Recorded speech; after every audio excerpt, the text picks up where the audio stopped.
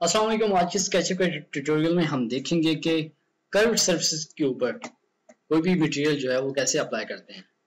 पहले हमने इसे पिछले में देखा था कि हमने मैप टेक्सचर जो अप्लाई किया था, वो हमने एक बॉक्स के ऊपर किया था और अभी हम देखते हैं कि कर्व सरफेस पे कैसे करते हैं। तो सबसे पहले हम क्या करते हैं, एक सर्कल ले लेते हैं। सर्कल को हमने यहाँ पर ड्रा कर दिया और इसको पुश कर दिया।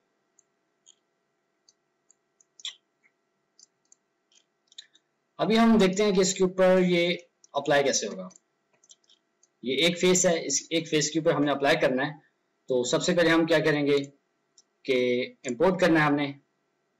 हम टेक्सचर में जाते हैं, हम इसको हमने इंपोर्ट करना है, लेकिन हमने क्या एक एक चीज़ अपने माइंड में रखनी है। हमने एज ए टेक्सचर इसको इंपोर्ट करना है। तो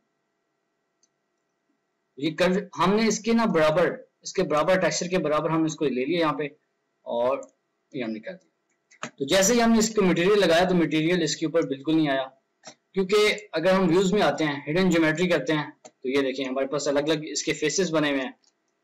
तो ये कर्व सर्विस है, इसलिए इसने ये मटेरियल अप्लाई ही नहीं हुआ। तो अब हम क्या करेंगे कि हम मटेरियल में आते हैं। ओके और व्यू में आ गए। यहाँ पे हिडन ज्योमेट्री की। अब हम मटेरियल में आते हैं जी सिलेक्ट किया।